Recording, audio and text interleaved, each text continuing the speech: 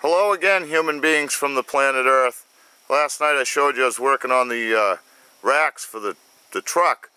And, um, well, I just thought I'd drop you a little line here and let you know we're, we're just about finished and we're getting ready to go get a donkey.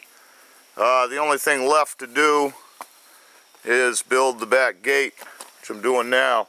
But I wanted to uh, just give you all a tip, if any of you follow me. I went through hell yesterday because all my notches were done with what I had on hand. A 5-in-1 painter's tool and my carpenter's knife. Pretty tight joints for a carpenter's knife, huh? Well, anyway, it could have been better than that if I'd had one good chisel. So today I just went and got one good chisel. Much love. Many thanks for the support of Op Stop the Bullshit. Check out the website. Twitter feed for that search has been added to the page.